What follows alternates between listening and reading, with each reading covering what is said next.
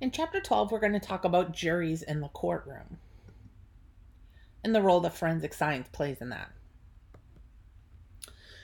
So, not all criminal prosecutions require a jury trial, and basically, any trial that is considered petty for purposes um, doesn't necessarily require a trial by jury. So, what exactly does that mean? In Baldwin v. New York in 1970, the Supreme Court said any case where imprisonment for more than six months is authorized is not considered penny, petty. So, essentially, if your possible punishment is incarceration of six mo- of less than six months or any lesser punishment, you don't have a constitutional right to a jury trial. Now, waiving that right to a jury trial does require an agreement of the judge, prosecutor, and the defendant. And at the state level, we consider a jury basically a protection for the defendant. As such, the defendant's going to have the last word. Now, in terms of a, the required size of a jury, for federal tr- federal criminal cases, jury has to have 12 members. But for state trials, it can have as few as six. Five jurors is considered too few, though. So six is considered large enough to promote group deliberation, to be free from outside attempts at intimidation, and to provide a fair possibility for obtaining a representative cross section of the community. Now, how effective a jury is depends on the size of the jury. So, as the size of the jury decreases, its effectiveness decreases. So, larger groups debate more vigorously and collectively recall more evidence and make more consistent and predictable decisions. It also increases the odds that someone who disagrees will have at least one ally. And it means we're more likely to have members of minority groups. They're more likely to spend more time deliberating and reach fewer erroneous decisions. Now, the burden of proof in a kim- criminal case is beyond a reasonable doubt, and in the majority of civil cases, it's a preponderance of the evidence. So, preponderance of the evidence basically means 51% of the evidence, or more than 50% of the evidence, points towards um, the defendant being culpable. Now, some civil cases, like fraud, require a slightly higher standard of clear and convincing evidence. Now, common law did require a unanimous jury verdict for criminal trials, but in 1972, in Apodaca v. Oregon, the Supreme Court held that you could be convicted by a less than unanimous jury. And in this case, it was a jury of 10 to 2. But in juries as small as six, the verdict must be unanimous. Now, states vary on this. So, some states like Virginia require all jury verdicts to be unanimous. So, let's see who's listening. For extra credit, sent by email by Monday, please let me know if Massachusetts requires all jury verdicts to be unanimous. The rules for extra credit require the answer to be sent via email, and the answer needs to also require, also needs to include, the email needs to include the answer and a link to a reliable source, a reliable, credible source no Wikipedia, no Ask.com, etc.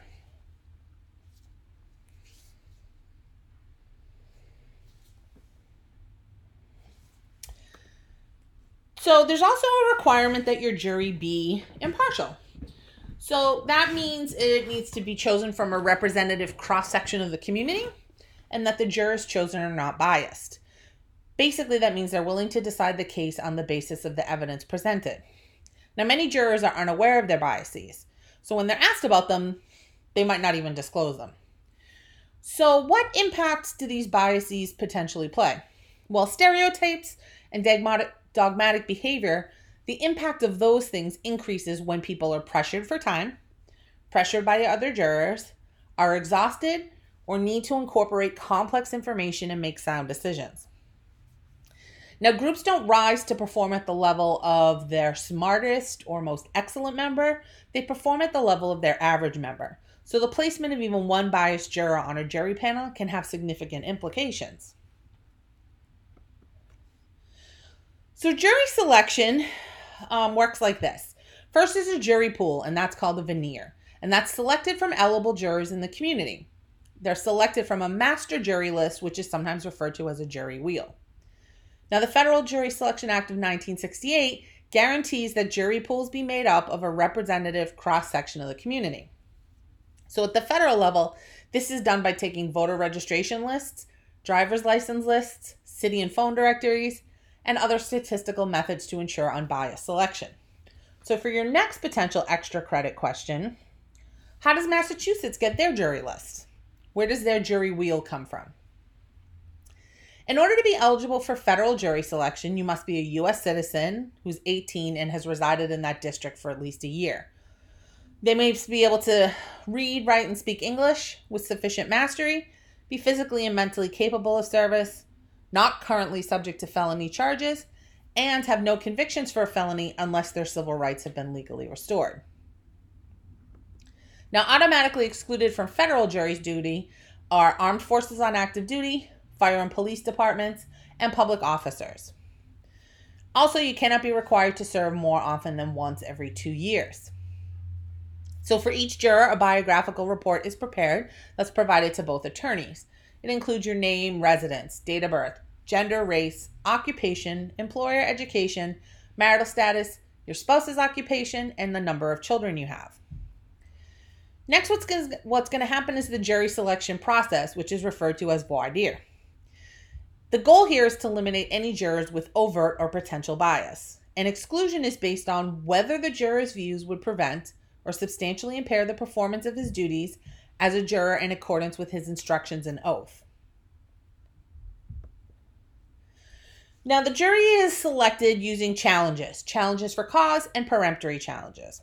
Challenges for cause are exactly what they sound like. This person is unable to be an unbiased juror. So you could be removed because you're ineligible to serve, you have a mental or physical disability that would interfere with your ability to serve, you've recently served on a jury, have prior felony convictions, you have a relationship or are related to one of the parties in the case or their attorneys, and most importantly, that you may be partial or biased. Prejudicial factors are important, but they can be really difficult to ascertain because jurors might not be forthcoming about them. There's also really subtle biases that can affect a verdict. So, jurors can be questioned about their demographics, hobbies, interests, books they read, TV they watch, their attitudes towards the legal system, and organizations to which they belong. They might also be questioned about things like the presumption of innocence, burden of proof, and attitudes towards the death penalty. Now, one way we might be able to get some better information about which jurors to pick is through the use of a juror selection consultant. Now, peremptory challenges don't have to be based on any identifiable reason. And at the federal level, for felony cases, the prosecution gets six peremptory challenges and the defense gets 10. So in Massachusetts, in a, a criminal case, how many peremptory challenges does each side get? That's your third extra credit question. Now, if there's a great deal of pretrial publicity, the judge may choose to give each side more peremptory challenges. So at the OJ trial, for example, each side had 20. Now, what about pretrial publicity and the impact that can have on a case? In Irwin v. Dowd, they argued that pretrial publicity prevented Dowd, sorry, prevented Irwin from receiving a fair trial. Eight of the ten jurors said that they had already decided Irwin was guilty before trial. But the judge then said to them, Can you render an impartial verdict? They said yes, and the judge accepted that. Now, in this case, this obviously raises a presumption of juror bias and the Supreme Court held that when pretrial publicity is substantial, a trial court should not necessarily accept a juror's assertion of impartiality. Now, in Sheppard v. Maxwell, five years later, officials allowed that trial to degenerate into a media circus, and Sheppard spent 10 years before using a totality of the circumstances approach to successfully argue that excessive publicity deprived him of a fair trial. And at his second trial, he was acquitted. The trial judge had attempted to address all this publicity with gag orders on the press, preventing them from reporting pretrial information. However, this is considered prior restraint. And in 1976, in another case, the Supreme Court held that a gag order was unconstitutional. The right of access to criminal trials is guaranteed by our First and 14th Amendments, and closure of a trial can only be allowed if there's some overriding interest. Now, in a 1991 case, the Supreme Court held that due process does not mandate that prospective jurors be asked in voir dire about what specific information they have seen or heard in the, media, in the media. A Sixth Amendment impartial jury requirement is adequately satisfied when jurors do not admit during voir dire that they've been prejudiced by pretrial publicity. Now, there's several ways we can overcome this. We can do this in the way we question our jurors. Uh, we can use extensive juror questionnaires. And we can also sequester a jury. Now, what about challenges to jurors based on their race or gender?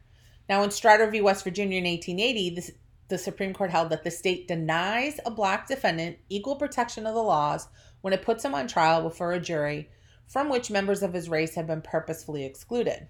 And that's exactly the kind of injustice that the 14th Amendment is supposed to be eradicating. A person's race is unrelated to their fitness as a juror, and by denying them participation in jury service because of their race, we're discriminating against them. Now, up until 1986, an attorney could still basically use their peremptory challenges without offering any reason. But in Batson v. Kentucky, the prosecutor used their peremptory challenges to strike all four black jurors. And the court said, you can't use them this way. now, that's there twice. Sorry. You don't need that fact twice. Now, addressing the use of peremptory challenges based on gender took longer, and interestingly enough, it was when all the male jurors were struck. Now, women have been excluded from juries based on the doc- doc- doctrine of propter defectum sexus, the defect of sex. Many believed it was necessary to protect women from the ugliness and depravity of trials.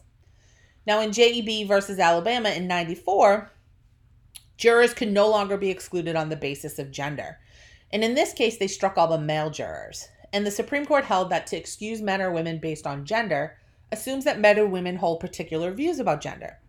And these stereotypes reflect and reinforce these patterns of historical discrimination that are contrary to the Equal Protection Clause. Now, in 2004, um, another attorney used four out of five of the peremptory challenges to strike black jurors. And they argued, oh, no, no, no. Two of them we struck because they were very demonstrative about their religion. One basically stated he worked as a missionary, and one was assumed to be Muslim because of his black garb and skull cap. Now, about jurors' attributes and how that may impact verdicts? Well, different attorneys have said different things at different times. So in 1936, Clarence Darrow said wealthy jurors are conviction prone except in white collar cases. In 1982, Attorney Belli said that married people make better jurors for defendants because they are more forgiving. In 1986, Wishman said guilt or innocence may have less of an effect on the verdict than whether or not the jurors find the accused to be, quote, their kind of guy. And in 1990, Fulero and Penrod said ethnicity, race, gender, wealth, social status, occupation, age, religion, marital status, hobbies, interests, reading and TV, organizations, demeanor, and appearance are always important factors, but we have to look at them on a case by case basis.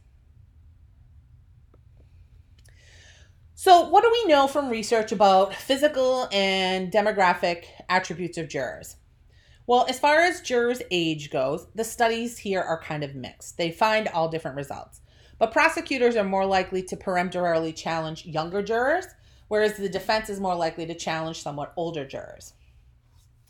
Now, in terms of gender, again, we've got some different opinions here from different attorneys. Clarence Darrow said criminal defendants should avoid female jurors, whereas Belli found them to be desirable jurors unless the defendant was an attractive female. F. Bailey, who is pretty famous, he's an attorney from um, from Harvard, and he was on OJ's Dream Team, said women are somewhat distrustful of other women. Biskin said that women should be avoided when seeking large damage awards. And Schulers and Hastings said in cases involving women accused of killing their battering male partners, female jurors are less conviction prone. Now, in terms of occupation, we've got some mixed results here. But when education is used along with occupation level to identify a juror's socioeconomic status, higher status was related to a greater degree of being conviction prone. But there's not enough controlled studies in order for us to figure out whether or not occupation is a significant predictor. Now, physical attractiveness plays a role in socialization and in education.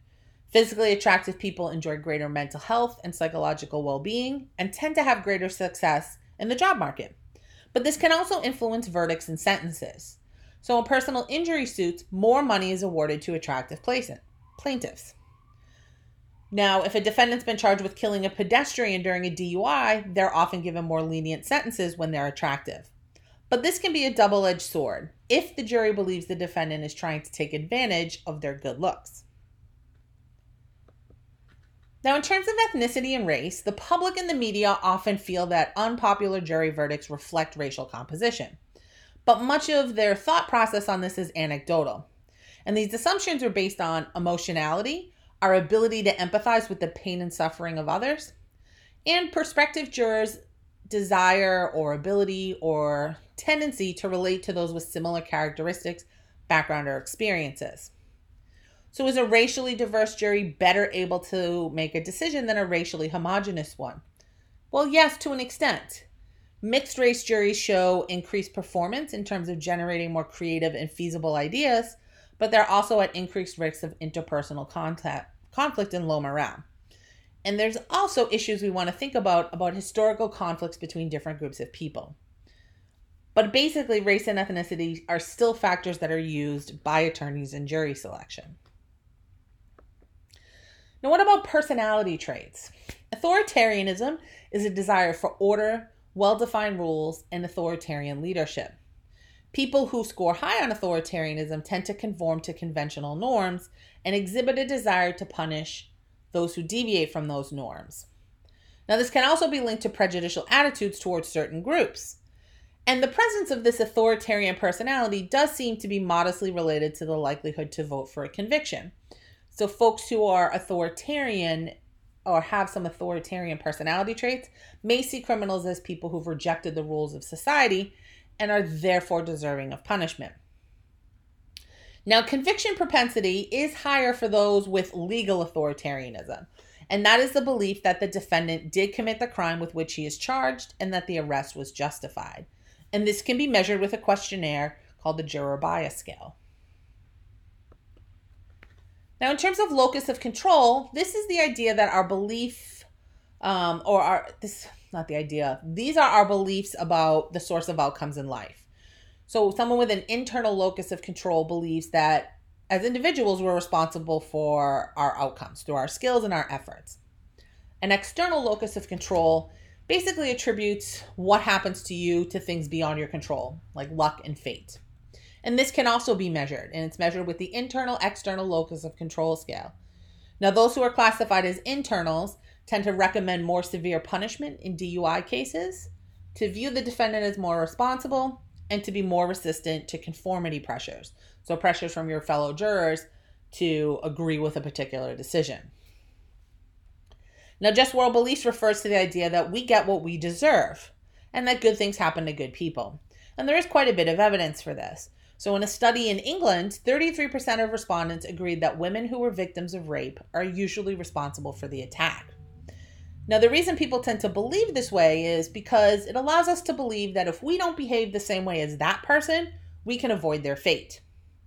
And we also typically measure this with a self report scale. And this is highly correlated with these other personality traits we've just discussed. Now, attitudes toward the death penalty are particularly important, especially in death penalty cases. And there's a standard that's been set. You basically need to be what's called death eligible. So anyone who says they would not vote for the death penalty no matter what is not eligible to serve on a jury in a death penalty case. And uh, that's been decided in both 1968 and 1985. Now, this doesn't necessarily impact the jury in a straightforward fashion, but may influence the weight that a juror gives to aggravating and mitigating factors. Now, people who have positive attitudes toward the death penalty also tend to have positive attitudes toward the police and prosecution. Now, the people most likely to favor the death penalty are white, male, married, upper income, and have authoritarian and conservative personalities. But the relationship between these attitudes and their behavior on a jury is weak to moderate. Now, we'll come back to an idea that I mentioned at the beginning of this uh, lecture.